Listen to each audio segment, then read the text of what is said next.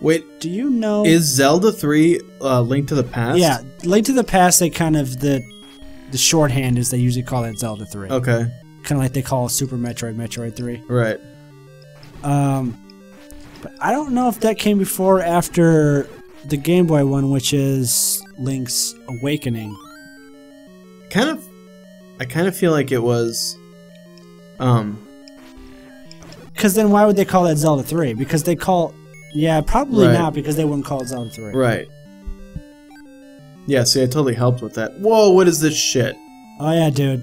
Do I have to kill that? Yeah, it's supposed to be. It's supposed to be a snake, but it's just comprised of fireballs linked Okay. together.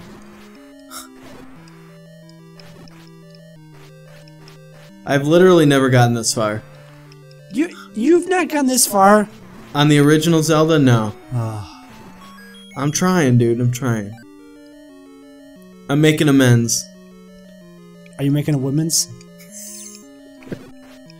Not enough ladies, too many men's. Not enough ladies, too many men's. Too many men's. What the fuck is that? Too many dicks on the dance floor. Too many dicks. Too many dicks on the dance floor. yeah. what is that? What? I don't remember. That's Flight of the Conchords. Oh yeah.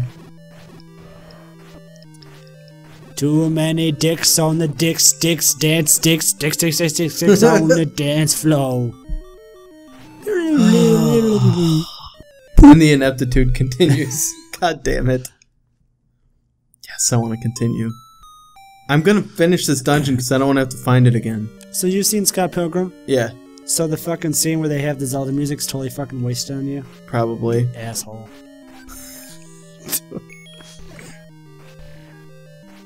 Why? What's? I don't even remember it. It's the scene when he's dreaming. I think he's like walking through the school, Mm, and then I think then that's when he sees um Ramona the first time. yeah. I think yeah, I think that's it. So for the longest time, I didn't know that was like an Edgar Wright joint.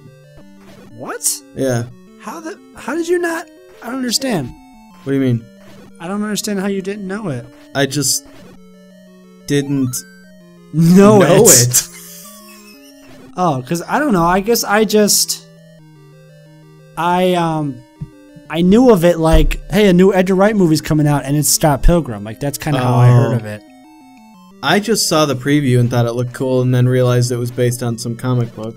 That's one of those Watch this high level movies. shit. Wow, fucking hell, man. That's one of those movies that really made me fucking hate like Chris peers. Evans? Oh. No, what? Chris Evans is amazing. I know. I know. Speaking of which, sidetrack.